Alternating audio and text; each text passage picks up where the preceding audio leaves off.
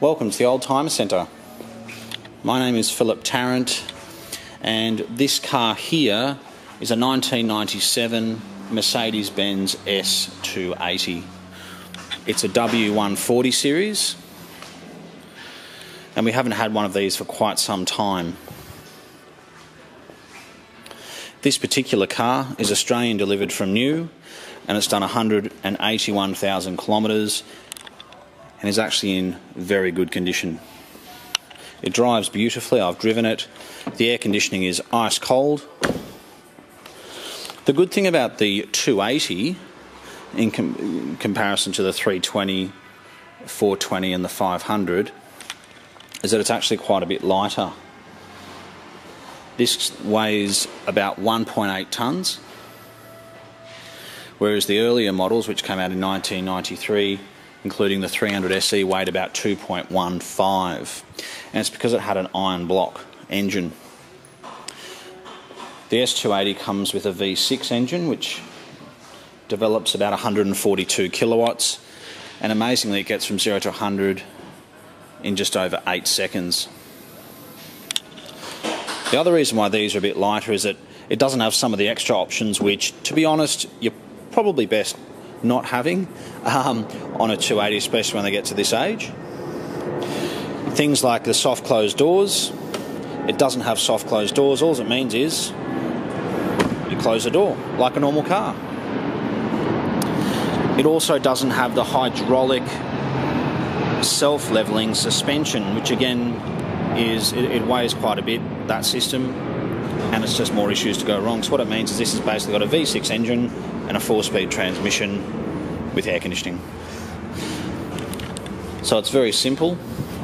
It looks exactly the same as a 500 from the outside, and it drives absolutely beautifully as any Mercedes Benz S Class, especially the W140 series. It's got a nice big boot. Again, the boot isn't soft closed, you just close it like a normal car. It does have the chrome handle which folds in and out when you open and close it.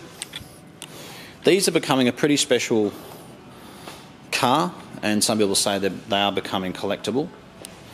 Uh, this particular car was designed by Bruno Sacco along with the W126, W124, and many other Mercedes models from that era. What people like about these is everything's overdone. Now, they spent so much money in the late 80s, and apparently it was around a billion dollars in development, and it was more than any manufacturer had ever spent in history on the development of a car. What that means is you get an over engineered Mercedes Benz, and there's nothing wrong with that. Even little things like you've got your double glazed windows for, to keep the heat out and for sound insulation.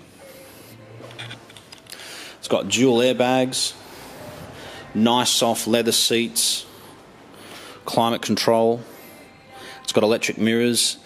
The W140 was one of the first cars in the world to have electric mirrors that fold in at the touch of a button got the two original keys to it. I think this is easily one of the best colour combinations hubs. It's nice and easy to keep clean. It keeps cool. It's got the eight hole alloy wheels and it's got a set of Continental tyres on all four wheels. It's got two remote keys. The service history is amazing. It was serviced by Mercedes Benz pretty much all the way through up till about 165,000 kilometres. Then it went to an independent after that.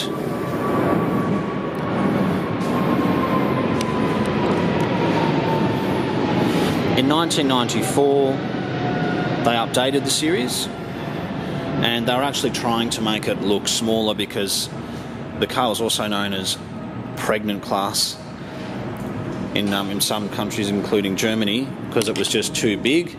Now that it's aged, it's uh, it's very much appreciated, and there's a lot of W140 fan sites on Facebook, etc., because so many diplomats and important people have had them, and they've been in a lot of movies. So The tail light, this section here, this used to go all the way down to the bottom, but they put this white line along here, and see how it goes up at the side there. They've put that in there to try and make the car look a bit small, and they've also put in these lines down the side here to again make the car look smaller. The the earlier version didn't have that line at all, and the car really did look massive. So, despite the fact that it's 5.1 metres long, it still looks absolutely gorgeous.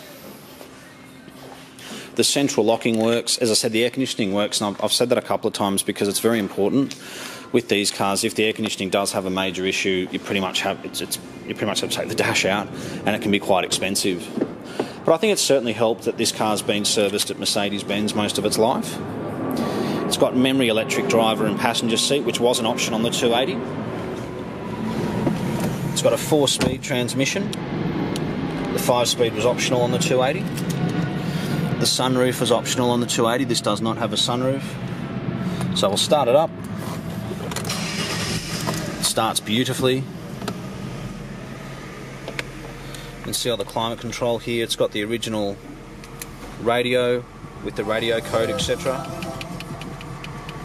Air conditioning's nice and cold and quiet. The timber is excellent. I'd suggest that this car is being garaged. It does have an adjustable steering column. The sound system's incredible. Again, it's another one of those things they probably over engineered. It's got about 12 or 13 speakers and it goes very loud.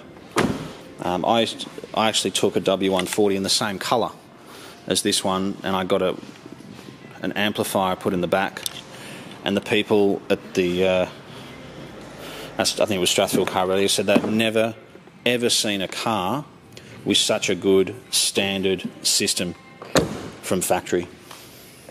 So you can see in the back you've got a few speakers along here. I believe it's got a subwoofer as well. Um, I do still own a W140. Mine is a 93 model and it's a 300 SE.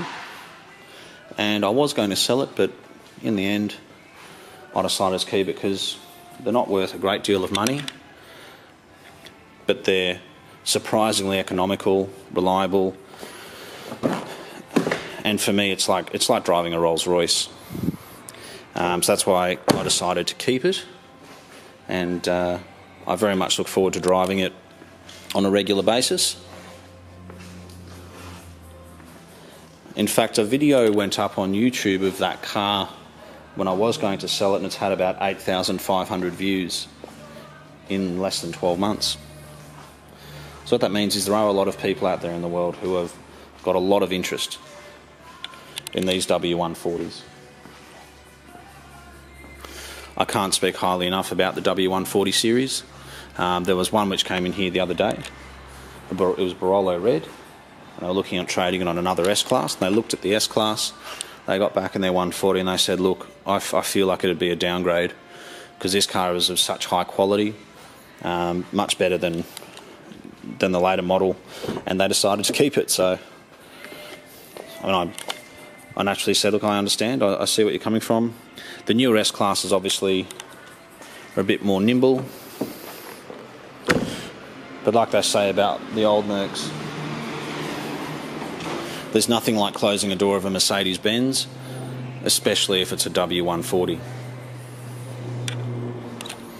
If you have any questions, please feel free to, to give us a call. My name's Philip again. Um, there's, there's not a lot I don't know about these cars. Uh, as I said, it is in particularly good condition all the way around.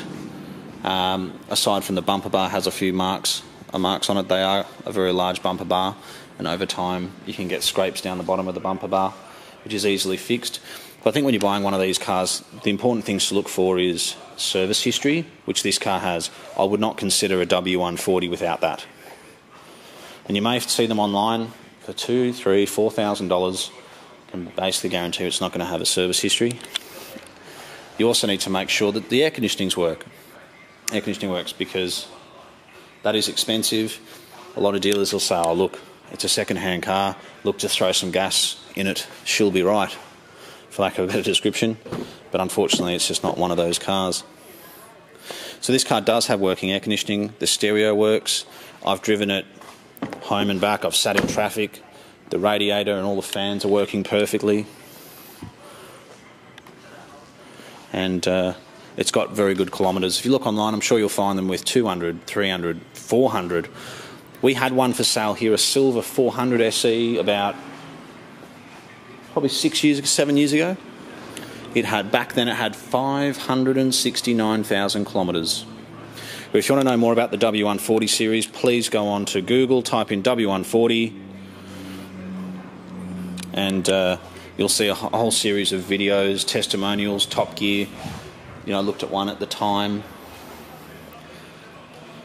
Um, the other thing is this car is a local car. It's always been in Sydney. It's spent. It's mainly been serviced at McIntosh and Mosman. I think the car came from Mosman, And it's always been in that area. But it's absolutely beautiful.